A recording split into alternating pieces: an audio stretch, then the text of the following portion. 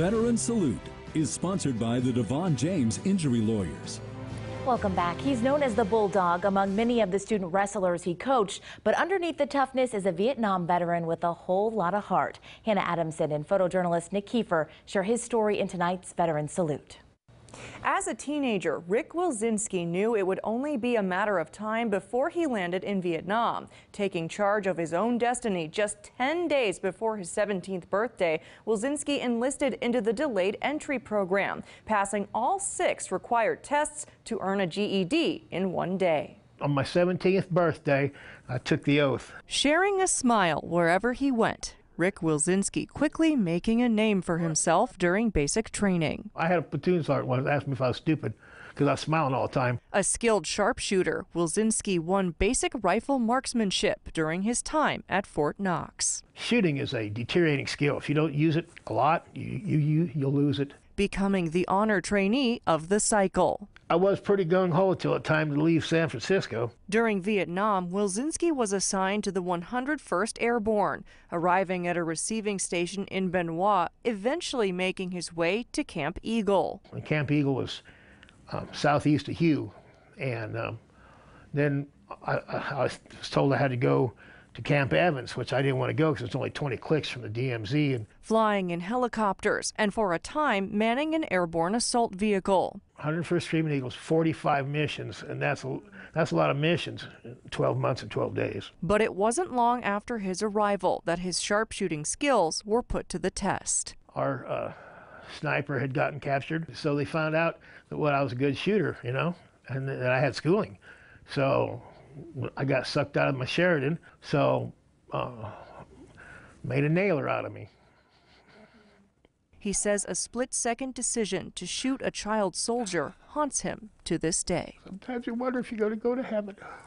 The pain exacerbated by a rude awakening when he returned home from his one year tour. When we come back, we got no love from nobody. Wilczynski would go on to serve for six years in the military. When I got out, I wanted to be a policeman.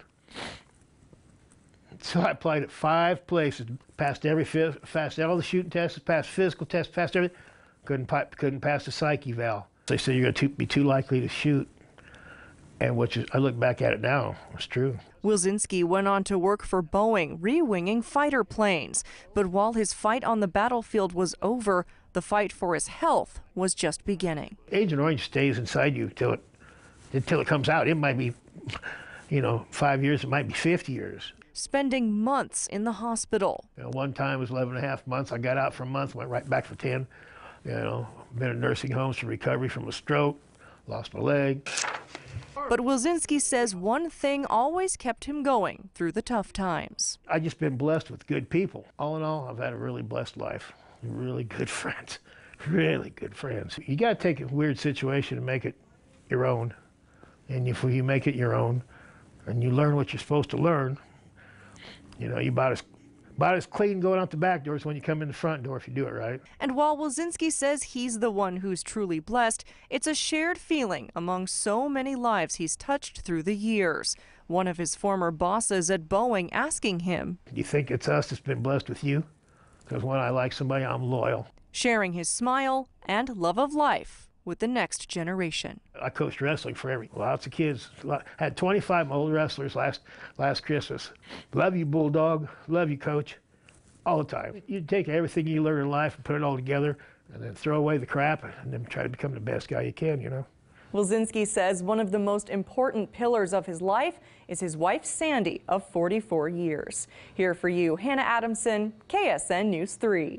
The DeVaughn James Injury Lawyers here with our Veteran of the Week and that's Buck Sergeant Rick Wilczynski, who faithfully served our country during the Vietnam War. He was in the 101st Airborne Division. On behalf of all of Kansas, Rick, thank you so much for your service. Thank you very, very much. It was an honor to serve. I wouldn't say it's a pleasure, but it was an honor. Veteran Salute is sponsored by the DeVaughn James Injury Lawyers.